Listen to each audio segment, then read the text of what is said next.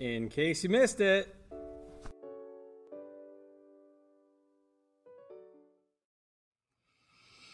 Okay, so the sermon for today, the title is Chicken Poetry. um, uh, forgive me, those of you who actually follow me on Facebook, because you probably saw this joke already because I shared it. But sometimes you tell a joke and then it like haunts with you for a while, like gets under your skin.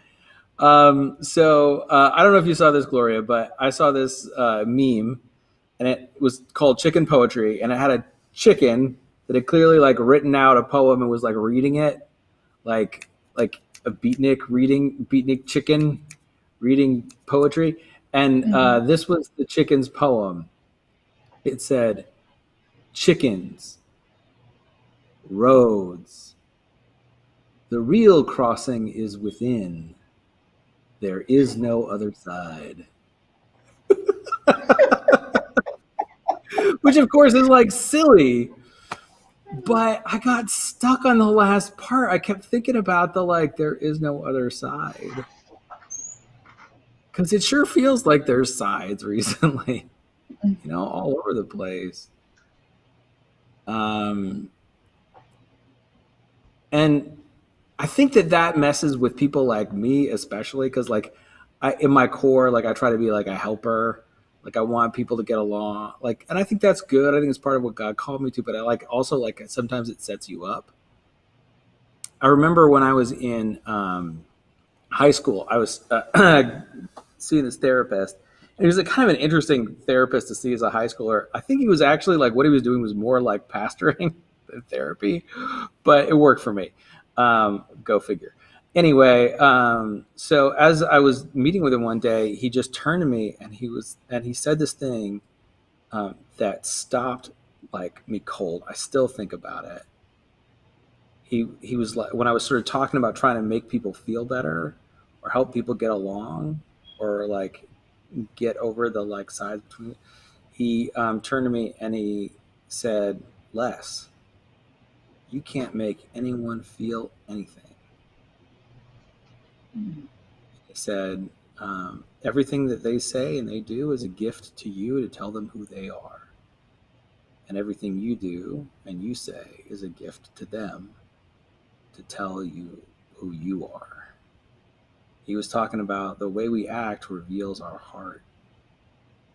And that's fun to me that's so captivating like then but even especially maybe even now like even more so. Because how often are we like those people they make me so angry.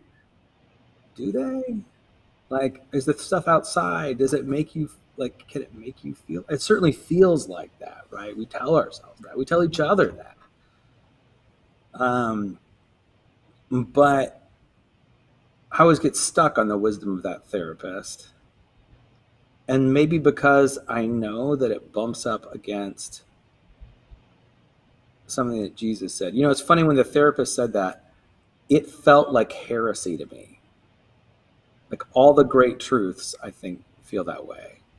Like the things that all the great truths first sound like heresy, and then they stick with you. Um, Jesus says something in the reading today that absolutely sounds like heresy to his people. Like he turns the table on the on the way they look at righteousness 180 degrees. He says it's not what comes into the body that defiles, it's what comes out of the body that defiles. And this is a big thing um, both in his context but also in ours. So in his context it's important because like remember they're Jews. Like there's all this stuff about what you eat and what you don't eat and if you eat the wrong like if you eat pork or shellfish like it's uh, it can be seen as an abomination to god. Like um, the things you put in the body quite literally um, are signs of righteousness to everyone he's talking about he's talking to. No wonder it says that the pharisees were offended. Like he shook the whole thing.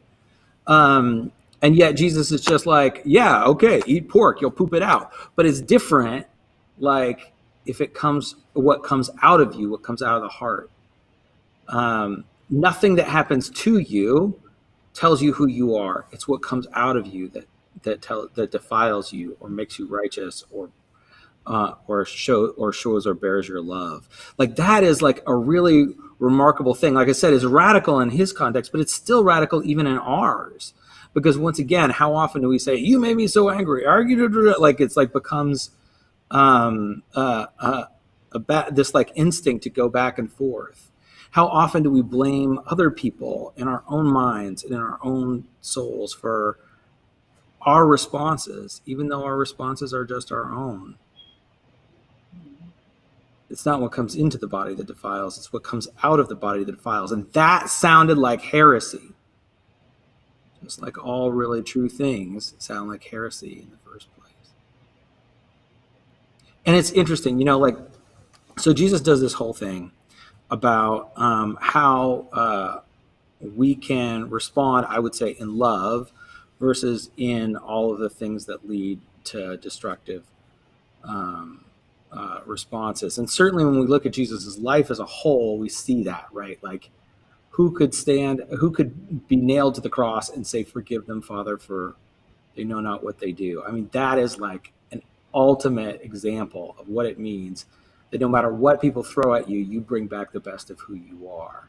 He's not defiled by their actions on the cross, even though they are designed to make him feel shame. But interestingly enough, in this reading, like, okay, so we have this whole paragraph about that.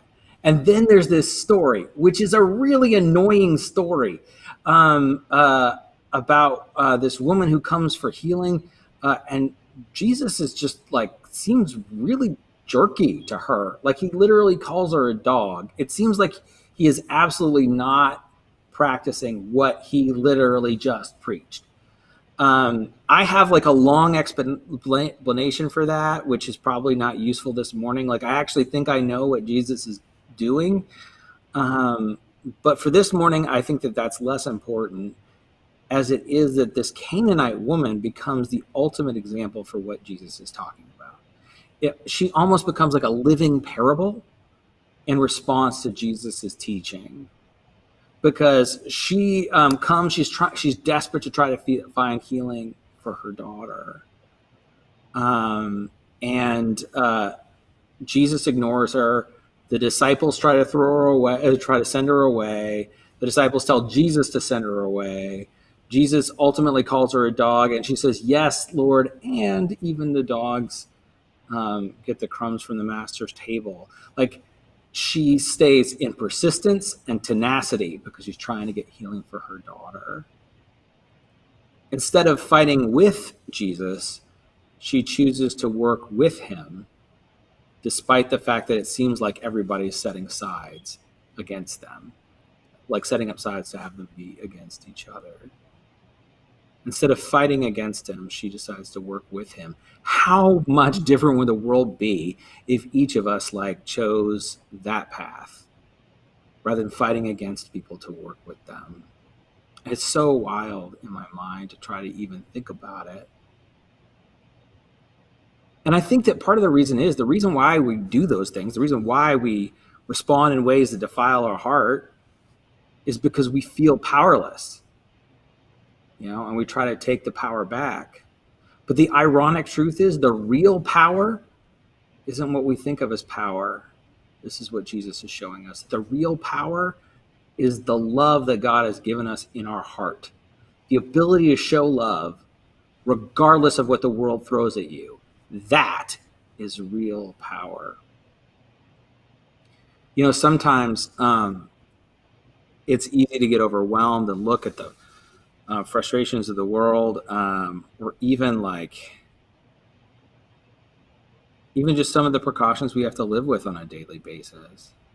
I mean, the truth is like this idea that like what comes from the outside defiles, like that is actually the way the physical body works. Like that's why we wear masks. That's why we're separated because germs really can. The things that come from outside can hurt you in your body. But spiritually, it works the other way. This is what Jesus is saying. And like I said, it's easy to get overwhelmed uh, by the things of the world. Uh, for people from my generation, there was a song that was popular on the radio way back in like the 90s um, called "Where's the Love" by Black Eyed Peas. And it's sort of easy to like ask that question when we look around the world. We're like, where is the love right? But I think the words of Jesus and the example of this woman tell us pretty clearly that if you're wondering where God has put the love, you if you can't see it, it's probably because God has put it in your heart. It's put it in your heart to share. He's given you the power to love. And, I, and that feels crazy that God would, would take his precious, healing, life giving love and put it into each one of us like in our own heart. Like why would you why would you trust me with that? That seems heretical. That seems like heresy. It's like all true things. All really true things. So this is like where I'm at today is a prayer that each of us in our own way can take responsibility for the love that's been put in our heart that we have to share. That each of us in our own way can shed all of the negativity and destruct and self-destructive behaviors of the world around us and come back with the kind of creative and tenacious love that this woman has as she's in searching for to heal to heal her daughter. Because one thing's for sure our country and our world is sick and they are our children. And they need our protection. And they need all of the healing that we can muster we need the best even in a world that's trying to draw sides because the crossing is within and as it turns out there is no other side Amen. Amen.